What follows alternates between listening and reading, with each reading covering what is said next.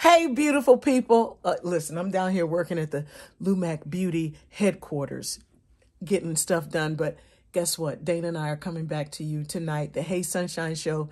Please come check us out. There's so much to tell y'all and fill y'all in on. So much. So we're looking forward to seeing you tonight at 8 p.m. Right, Dana? 8 p.m. Eastern Standard Time. Eastern Standard Time.